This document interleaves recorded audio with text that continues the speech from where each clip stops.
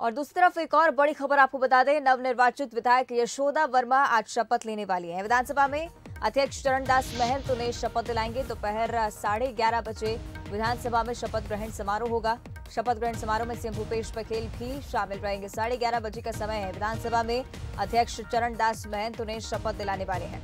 नवनिर्वाचित विधायक यशोदा वर्मा, जिन्होंने कैरागढ़ में जीत हासिल की है आज उनका शपथ ग्रहण समारोह होने जा रहा है। और अधिक चर्चा इस पर हम करेंगे। सहयोगी कुलेश्वर पांडे लगातार हमारे साथ लाइव बने हुए हैं। कुलेश्वर, क्या कुछ जानकारी इस शपथ ग्रहण समारोह से जुड़ी हुई?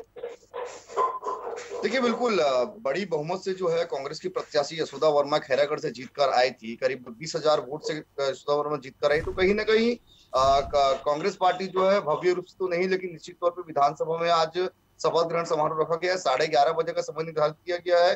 विधानसभा अध्यक्ष चरणदास महंत जो है शपथ लेंगे साथ ही मुख्यमंत्री भूपेश बघेल सहित तमाम मंत्री भी शामिल होंगे। निश्चित तौर पर कहीं ना कहीं कांग्रेस के लिए एक बड़ी उपलब्धि है। सड़सठ सीट के साथ कांग्रेस पार्टी छत्तीसगढ़ में पूर्व बहुमत से जीतकर आई थी।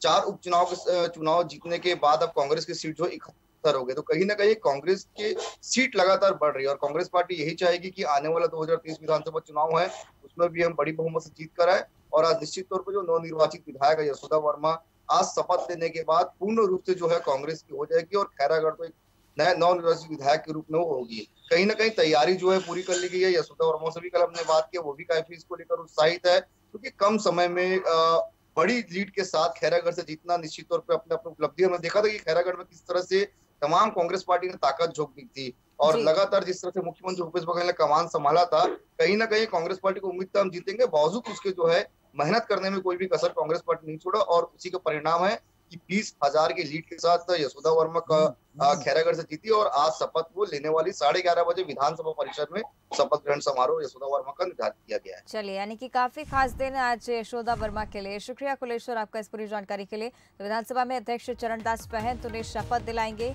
साढ़े ग्यारह बजे विधानसभा में शपथ ग्रहण समारोह रखा गया है।